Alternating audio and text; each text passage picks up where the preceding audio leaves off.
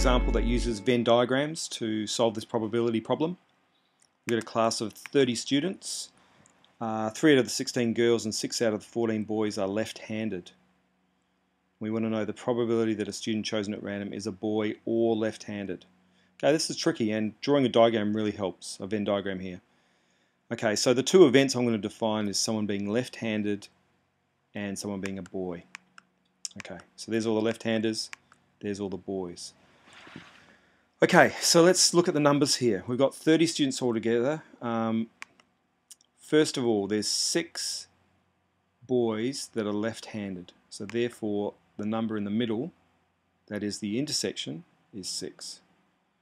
The total number of boys is 14, which means there's 8 boys that are not left-handed. So they're right-handed. Okay, 3 out of the 16 girls are left-handed. So that means the people outside the boys circle, but inside the left-handed circle, must be the left-handed girls. So that's 3. Okay, adding those all together now, we've got 6 plus 8, 14 plus 3, 17, but the class contained 30 people.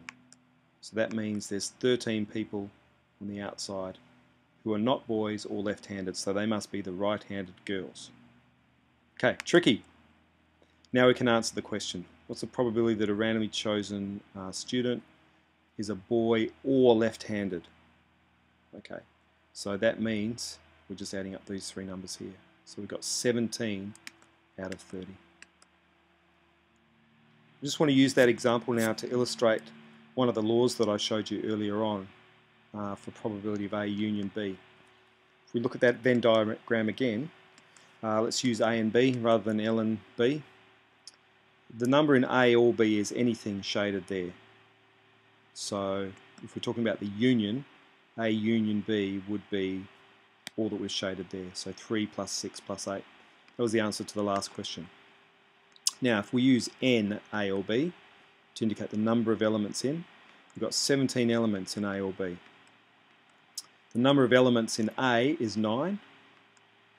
The number of elements in B, 6 plus 8, is 14. The number of elements in the intersection is 6.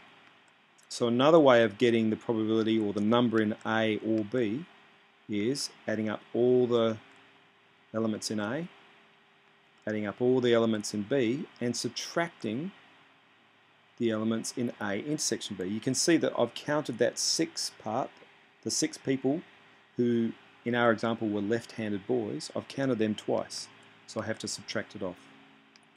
Okay? So that's where we get that red formula there, which is an important formula that I showed you earlier in probability.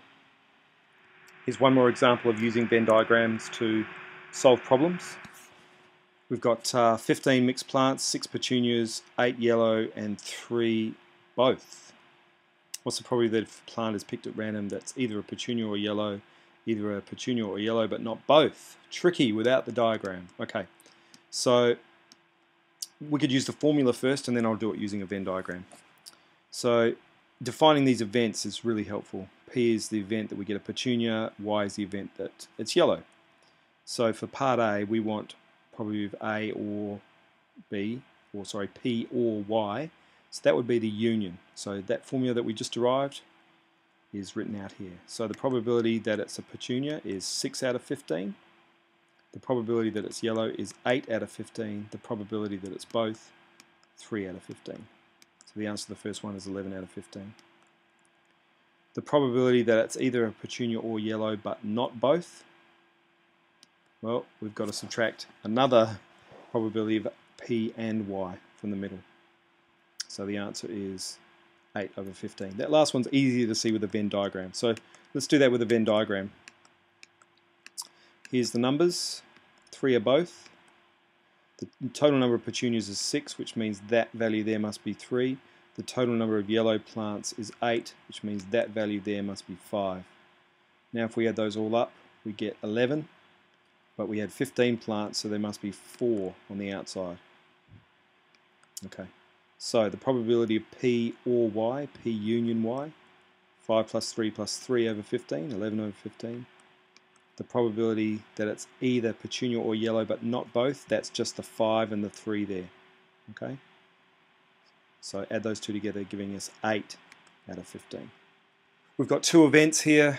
A's probability of A is 0.5, probability of B is 0.7, and this one here is a bit tricky. The probability of A complement intersection B complement is 0.2. Okay, let's let's look at the Venn diagram here. The probability of A and B, let's let's say that that's P. So the probability of A, if the whole circle here has to be 0.5, that means this area here has got to be 0.5 minus P. Same with B, the whole of B is 0.7. This part here has got to be 0.7 minus P. Okay. Then if you add that circle up, you get 0.7. That's tricky. Now this probability here is what's on the outside. What's common to everything outside of A and outside B. Okay, so this is the, the region outside the two circles. That's 0.2. Okay, now it's just a matter of forming an equation. If we add these three parts together, we must get 0.8. That's right because the total probability has got to be 1. We've got 0.2 on the outside, so these three bits must add to 0.8. Okay, if you add those together, so they've added on the 0.2 here, so you could take that across, 0.8. 0.5 plus 0.7 is 1.4, minus p plus p cancels out, minus p. So we get this, so p is equal to 0.4 and that's what we're looking for, the probability of A intersection B, or A and B.